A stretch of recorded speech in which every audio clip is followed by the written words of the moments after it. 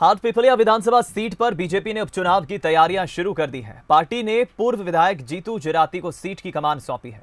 जीतू जिराती ने भी अपना काम शुरू कर दिया है। बंसल न्यूज़ से खास बातचीत में जीतू जिराती ने कहा है कि सभी असंतुष्ट नेताओं को मना लिया गया है। इस वक्त खुद जीतू जिराती जी हमारे साथ मौजूद हैं, जिन्हें हाट पिपलिया उपचुनाव के लिए भारतीय जनता पार्टी ने अपना प्रभारी बनाया। भैया, कितनी बड़ी चुनौती, क्योंकि महत्वपूर्ण सीट 24 सीटों में से अहम सीट बनती जा रही है कहीं ना कहीं।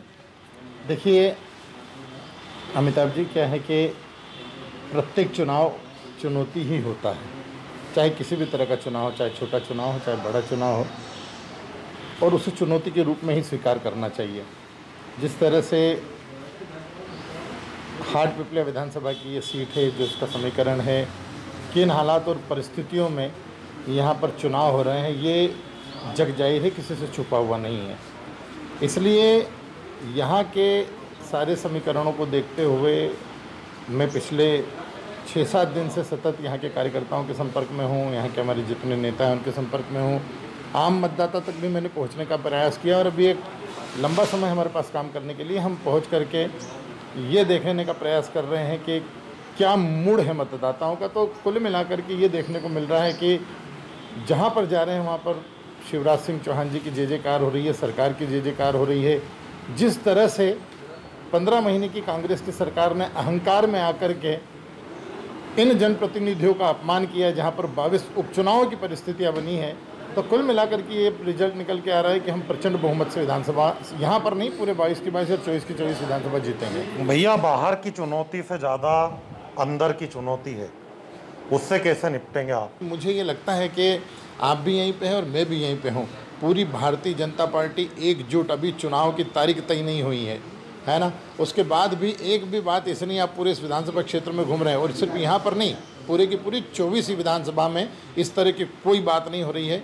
कुछ ना कुछ प्रयास किन्हीं लोगों के द्वारा किया जा रहा है। कई सारे लोग जो हमारे अपोजिशन के लोग हैं वो इस तरह की बात सुलगाने का प्रयास करते हैं। वो कहीं ना कहीं हाथ में दिया सलाई लेकर के घूमते हैं कि कहीं छोटा मोटा बारूद का ढेर मिले और दिवस में आग लगा के। तो उन लोगों के इस बहकावे में भारतीय जनता पार्टी के बड़े लोग आने वाले नहीं हैं। ये बिकने और खरीदी वाले इस, इस मुद्दे को लेकर अब कांग्रेस अपना चुनाव लड़ने जा रही है। देखिए कांग्रेस के पास दुष्प्रचार के अलावा कांग्रेस के पास अपनी एब छुपाने के लिए जनता के बीच में जाकर कुछ तो बोलना पड़ेगा। इस तरह की घिनौनी, इस तरह की घटिया राजनीति ये लोग करेंगे। ये इस बात को मानने के लिए स्वीकार नहीं करेंगे। आप स्वयं में आप झाँक करके देखिए ना कि सरकार तो चली रही थी। सरकार भारतीय जनता पार्टी ने नहीं गिराई। जितने भी बाईस विधायक जो आपके टूट करके गिरे हैं, वो आप ही के झाड़ पे से, आप ही के वृक्ष में से टूट करके गिरे हैं। भारतीय जनता पार्टी ने आपके वृक्ष पर पत्थर नहीं मारा है। जितने लोग नीचे गिर करके टुकड़े टुकड़े हुए हैं, वो कहीं ना कहीं आपके अहंकार का परिणाम है। ज्योतिरादित्य सिंधिया को आपने इस्तेमाल किया कि वो जब पीड़ित और दुखी हुए तो पूरी की पूरी वो सरकार, जो अहंकार में चूर थी, वो सरकार गिर गई। अब ये पैंतीस करोड़ की बात करें, तीस करोड़ की बात करो, निराधार बात है।